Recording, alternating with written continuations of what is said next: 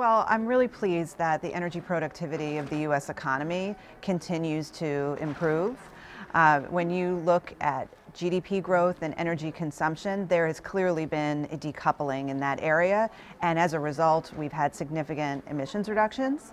In terms of changes to the U.S. electricity mix, you asked about renewable energy, a very exciting story. I mean, we started the decade at about 8% of generation coming from renewable energy in the United States, and we ended at 18%. So very big changes for a sector that people said, you know, really couldn't change in a decade or multiple decades. You know, the, the old saying was, you know, it's a 100-year uh, industry, and, and things take a very long time to change. Well, we've seen very significant changes in renewable energy in just a short period of time.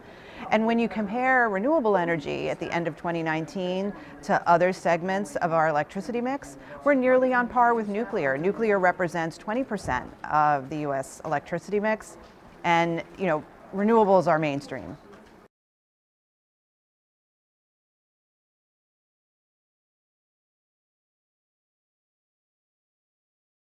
So the 2020 Fact Book focuses a lot on this concept called the empowered consumer.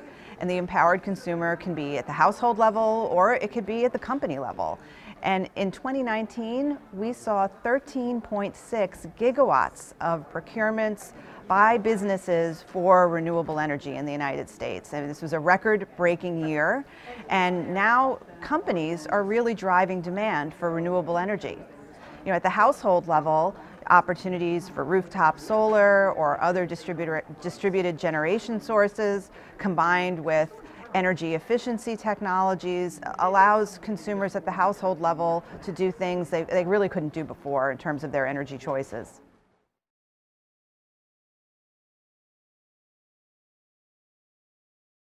The Business Council for Sustainable Energy seeks a market-based, economy-wide approach to addressing greenhouse gas emissions. We'd like it to be inclusive of the geographical resource mix of different parts of the country, but have strong and aggressive goals to reduce our emissions. We need to follow what the scientific, commu scientific community has said we need to do in terms of lowering our emissions. And we feel that the results of the last decade the growth in energy efficiency, renewable energy, clean generation sources like natural gas, give us a foundation to achieve those longer term goals.